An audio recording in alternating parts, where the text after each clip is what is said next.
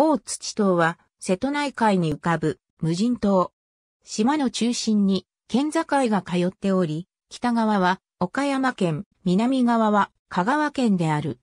美山瀬戸に位置し、北側は日日灘、南側は大土瀬戸と呼ばれる海域である。また、この海域は本州と四国の距離が最も狭まる部分であり、この島自体も本州、四国のいずれからもほぼ中間に位置している。全体がいわゆるおにぎり型と呼ばれる円錐状をした山であり、平地が存在しない無人島である。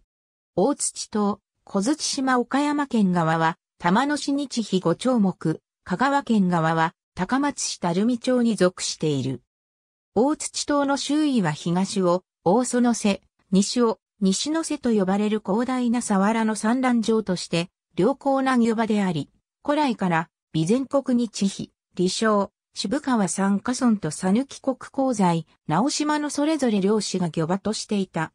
島の周辺が工業場であったため古くから領有権争いが絶えず、島内に県境があるのもその名残である。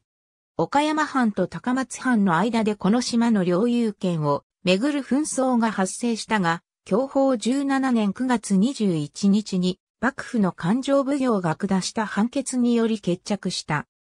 その内容は、元来よりこの島の領有権を確定づける根拠は存在しなかったことを認めた上で、双方がこの海域で取った魚介類を幕府に献上していたことも事実であり、島の位置はさぬきよりであるが、島の備前側の北側斜面には、備前日日村の者が開いた畑があることを考慮したものであった。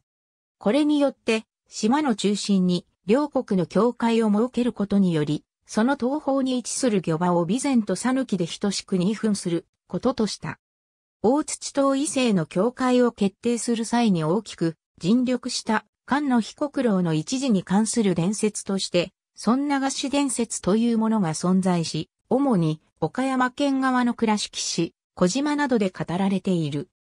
これは、大土島異性の島々の境界を決める際に、備前側の菅野被告郎が大土島から樽を流してその海流によって境を決めようと発案し、幕府の見聞役立ち会いのもと樽を流したが、潮流が事前に言っていた実験時のそれとは大きく異なり、その時間の潮流を読んでいた、讃岐川に有利な結果になったというものである。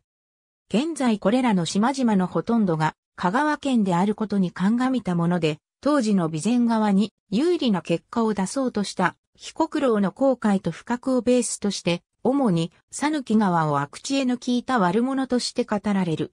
ただし、これは備前川海域の狭さを嘆いた後世の小島、下津井川の創作であることが指摘されている。